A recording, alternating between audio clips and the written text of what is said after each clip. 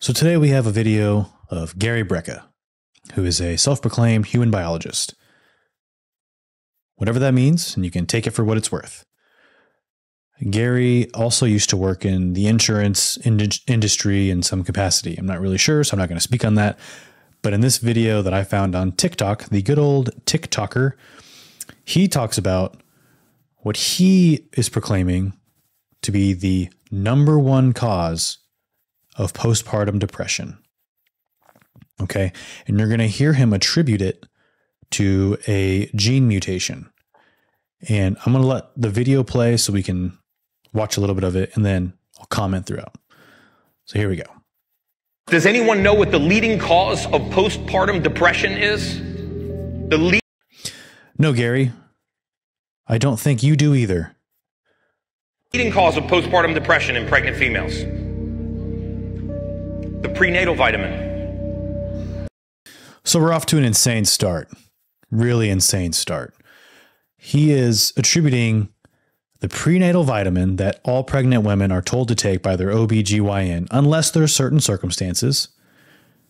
And he is attributing that to the leading cause of postpartum depression. Let's see what, I don't know, the NIH has to say. So the NIH says that postpartum depression develops around the time a woman gives birth.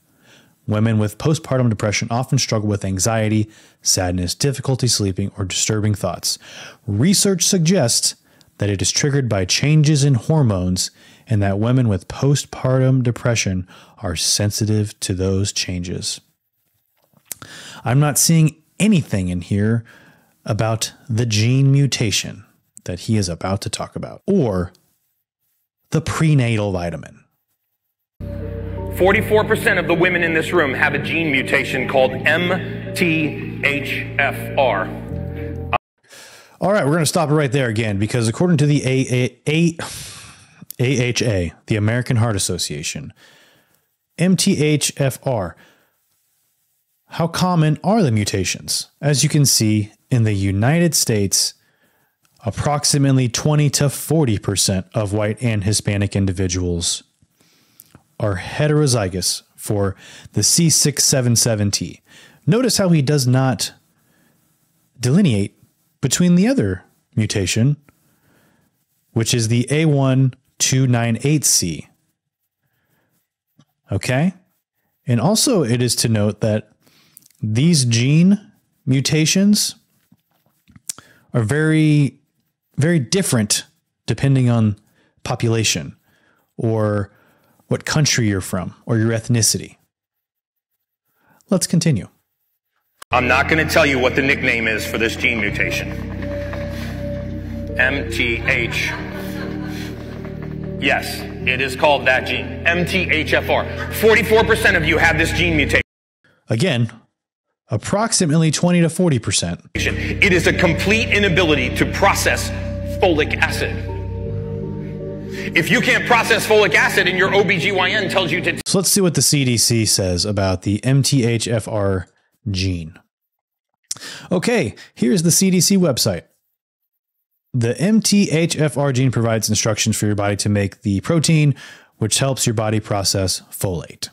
Okay, you need that to make DNA and modify proteins. Uh, the most common variant, which we saw from the American Heart Association, the C677T, the number of people who have each of these genotypes will vary from population to population, as we saw. When consuming the same amount of folic acid, people with uh, the 677TT have an average uh, that is only slightly lower than people with the CC. Okay, and another gene variant is the 1298C. There is not enough evidence to show that the MTHFR A1298C variant alone significantly affects how the body processes folate. So we're going to assume that he's talking about the 67 the C677T variant. People with this variant can process all types of folate, including folic acid. So we're already off to a rough start. Okay. You might have read or heard that folic acid is not safe if you have one or two copies of the of this variant. This is not true according to the CDC. Even if you have one or two copies of the variant, your body can safely and effectively process all different types of folate, including folic acid. Folic acid is the only type of folate shown to help prevent neural tube defects. Okay, which is probably why OBs want you taking a prenatal during pregnancy. It's more common in some races and ethnicities than in others. Hispanic individuals are more likely than non Hispanic whites and non Hispanic blacks, which he fails to mention in this video.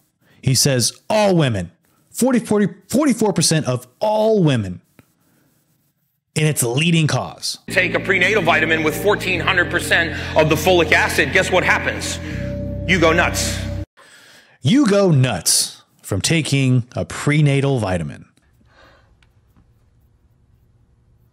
He said that. He actually said that. So I went and found a couple of studies. a 2020 study by Morris by Emily Morris et al. They recruited 365 pregnant women with a history of mood or psych or psychotic disorder. At three postpartum time points, administered Edinburgh postnatal depression scale, clinician administered rating scale for mania, or CARS M, in the positive and negative symptom scale PANS and drew blood for genotype folate level analysis. No significant interaction was found, intera- interaction effect between the genotype and folate level on the highest of the EPDS scale. There was, however, a significant interaction between genotype, folate level, and CARS M. Now remember, these women already have a history of mood or psychotic disorders. There was no significant interaction between the MTHFR genotype and folate level on the likelihood of meeting positive symptom criteria for psychosis on the PANS. A 2015 systematic review by Couto, Tiago Castro, et al., let me see if I can find that. They found the prevalence of postpartum depression to be between 10 to 15%. Despite its multifactorial etiology, it is known that genetics play an important role in the genesis of postpartum depression. They also noted in their core tip, if you come down to here, MTHFR, CYP 2D6, and PER2 polymorphisms were not related to this mood disorder. Polymorphisms of oxytocin, steroids, and estrogen genes were positively correlated with postpartum depression. The, six, the C677T polymorphism was also studied in a study that focused on the association between uh, the MTHFR and postpartum depression. Its results indicated that low folate levels do not appear to be a significant risk factor for peripartum depression, but may be a factor for non gestational related depression, especially in women with this gene mutation.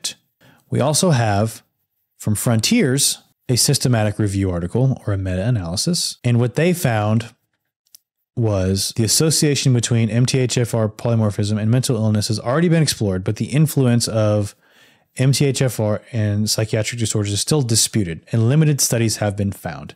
These inconsistencies might be attributed to limited sample size, ethnic ethnic heterogeneity, and differences in population substructure. And what they found, association between the MTHR C677T slash A1298C polymorphisms and major depression. This table right here shows the main results as well as the heterogeneity test.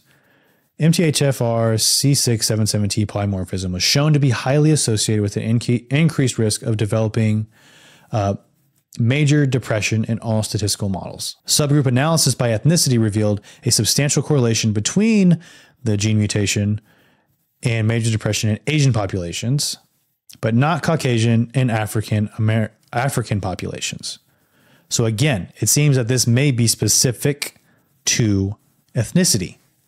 And right now we're kind of getting answers all over the board with Hispanics versus non-Hispanics, Asian populations, and African populations. And you become depressed.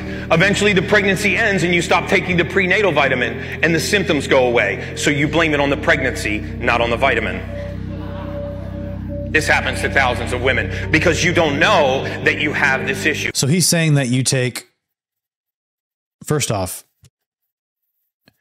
he speaks about postpartum depression, which means after giving birth but he's talking about you taking a prenatal vitamin during your pregnancy and having symptoms of depression.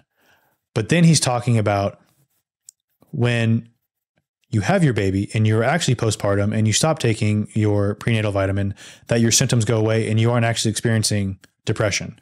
So to me, that doesn't sound like postpartum depression. I think they would call that peripartum, maybe. I'm not an OB, but it sounds like he doesn't even know what postpartum means. And that's kind of a big deal if you're going to sit here and say you're talking about the truth about postpartum depression and taking a prenatal is causing postpartum depression, yet you're talking about taking the folate or the prenatal vitamin during pregnancy, having depression, coming off the prenatal vitamin after giving birth, and not having symptoms of depression and associating with this gene mutation. I think my main point of this is Gary doesn't know what the fuck he's talking about. He's not a doctor. If you have this gene mutation or are concerned you may have this gene mutation, the one thing I will say about this gene mutation is that it may be a risk factor for having a for depression in the first place, regardless of pregnancy pregnancy status.